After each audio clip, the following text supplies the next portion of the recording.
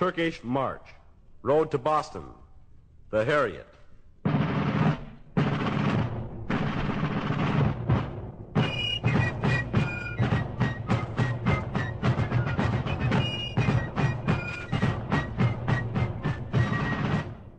Daniel Shays, a small farm owner in western Massachusetts and Revolutionary War veteran, had taken a stand against the government of Massachusetts to influence the writing of the United States Constitution. In 1786, Daniel Shays had started a rebellion against the overpowering amount of taxes that were repetitively being raised by Governor James Bowdoin. They protested at the doors of courts and did not allow entry of judges, so there was no arbitrary foreclosure upon the farms of Massachusetts residents. Daniel Shays took this stance and now is considered the main reason we have the Constitution today.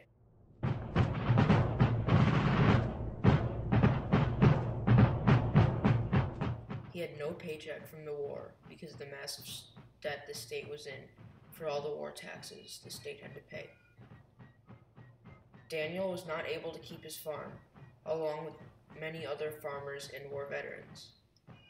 He, like many others, was unable to pay the taxes that were being steeply raised consistently on the working class.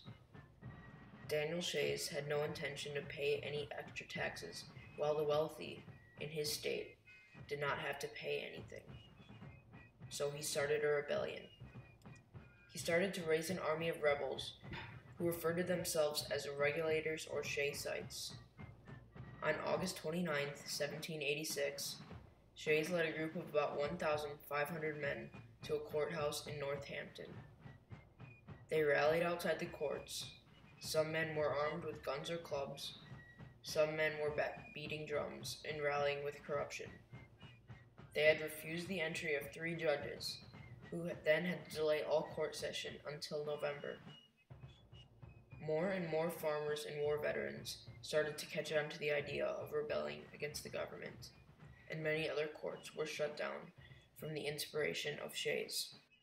Um, the lower house of the legislature was was willing to um, to sort of give them some relief, um, to extend their the, the, the, payment of their debts, um, to make it easier for them to stay in, on their property. Um, but the upper house of, of the Massachusetts Assembly um, didn't want to change the contracts into which they had voluntarily entered with their creditors. You can make a really good argument that the creditors had been beaten up during the course of the revolution. With inflation spiraling out of control, it's very difficult for someone lending money uh, to make any, any profit on that. Daniel Shays believed that it was unjustifiable to tax the poor, the people who fought in the war, to an immense amount of money after returning home from the war with no paycheck. To add to his problems with poverty, the only currency the government would accept is actual cash, which was a problem for almost all farmers who sold crops or livestock. They traded actual items instead of selling things for money, which is the reason why so many farmers struggled with paying taxes. According to Crash Course, a constitution, the government needed to tax extra to pay for the war that was just ending, so they actually taxed the people who fought in the war, which is the reason Daniel Shays started a rebellion in the first place.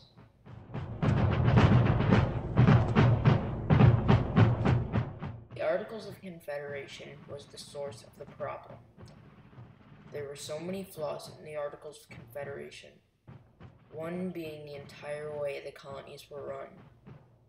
The entire philosophy of having each state maintain and run a government completely failed, and that's when Shays stepped in and took matters into his own hands.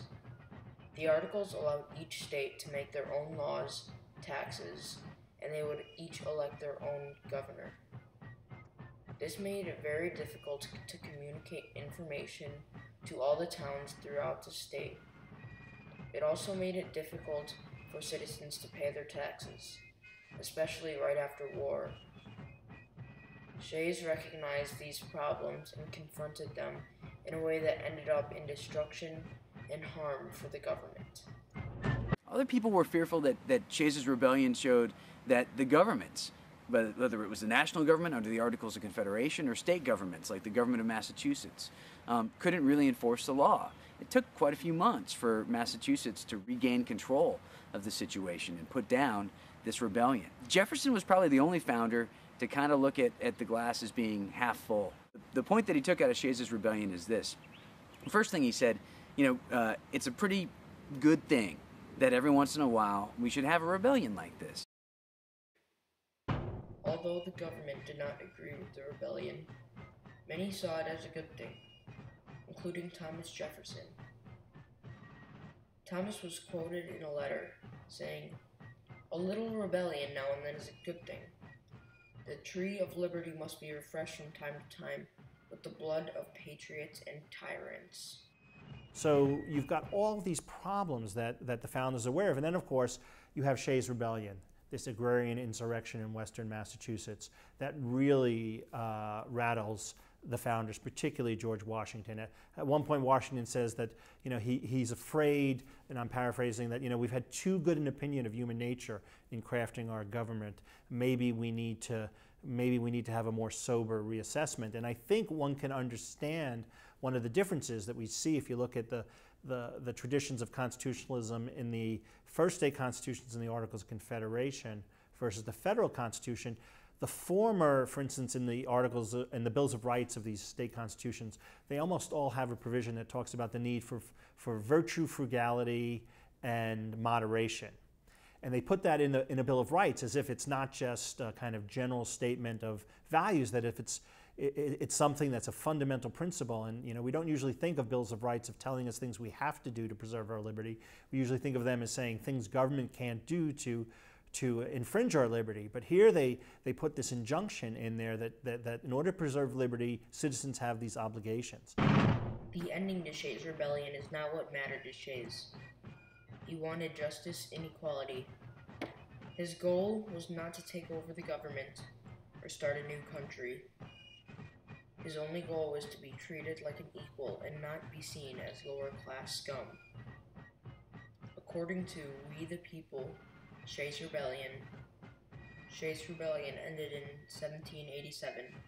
The government announced that they would pardon all who participated in the rebellion if they chose to put their guns down in the time period given. Unfortunately for Shays, they decided not to initially pardon him because he was the leader of all barbaric activity. So they decided to throw him in jail. After a while, Shays decided to ask for a pardon from the court, and to his surprise, they pardoned him from all jail time. It also did not end well for some of the most loyal rebels. Because they chose not to put their guns down in the time period given, 14 of the rebels were sentenced to death. What Shays did not know when he started this rebellion is that his rebellion led to one of the most historical documents ever written the United States Constitution. The order of events during the rebellion made the government realize that the Articles of Confederation was not a strong enough governmental system to run a country like America. Daniel Shay's stance against the Massachusetts government planted the seeds for the writing of the United States Constitution. Without the heroic stance Shays took, we might still have the Articles of Confederation today.